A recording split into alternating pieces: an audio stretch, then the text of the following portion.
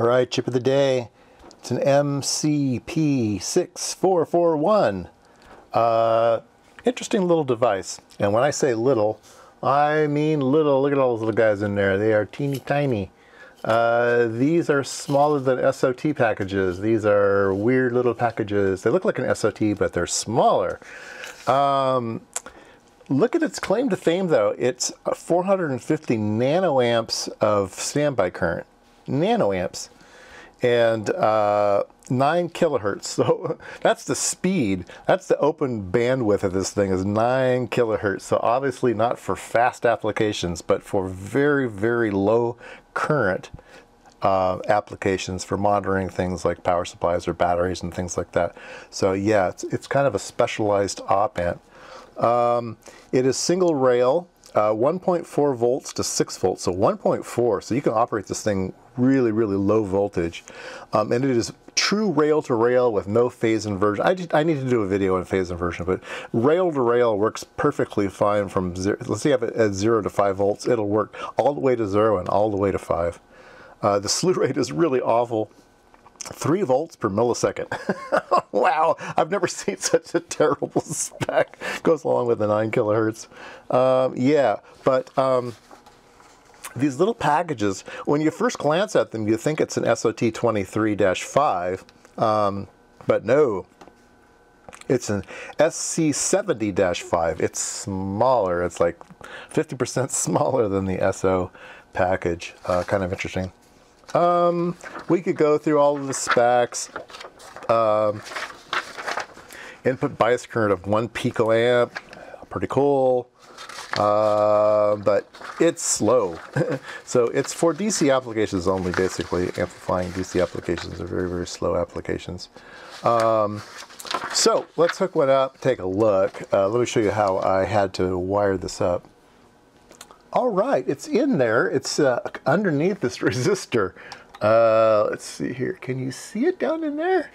It's it's it, it's right down there. It's teeny. That's as far as I can get. Yeah, it's teeny, teeny, teeny, tiny. Uh, this analog board that I laid out a long time ago actually has a footprint for this type of package. Um, here's some SOT23 packages, but this is this one's even tinier. So yeah, let's. Uh, let's hook it up the oscilloscope and see what it does.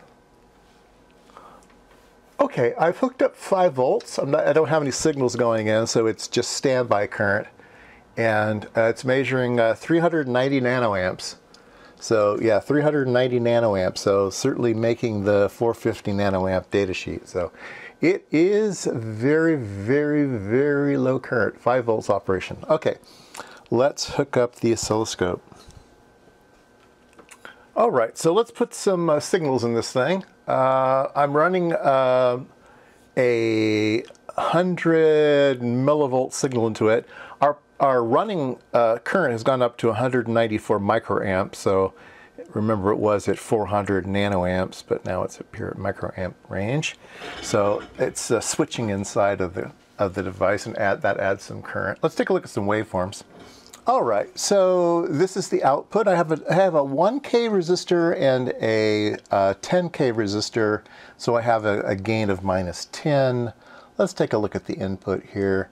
So the input is, uh, is small, and when we run it through the uh, device, the amplitude goes up tenfold. So it is amplifying, okay, and we get a nice, a nice uh, signal.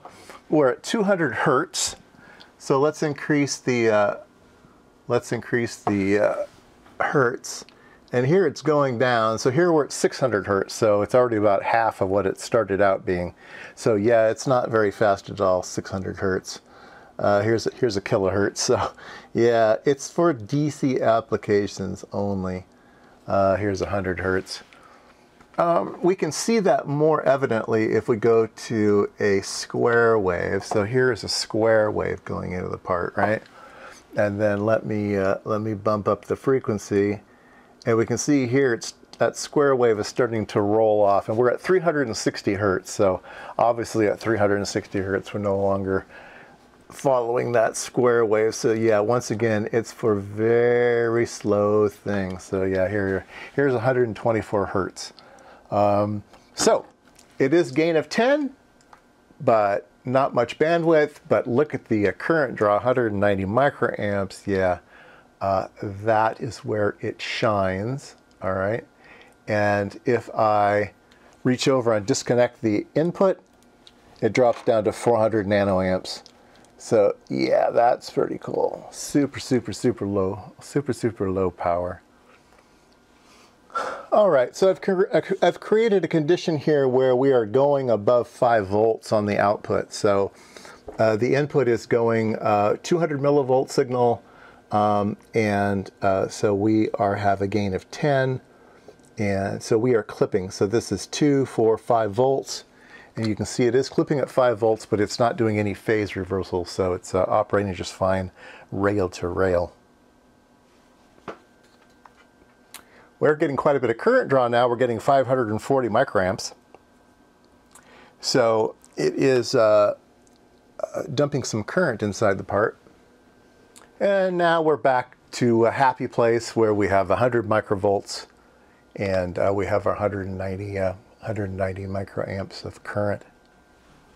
All right, well, there you go. Chip of the day was an MCP6441.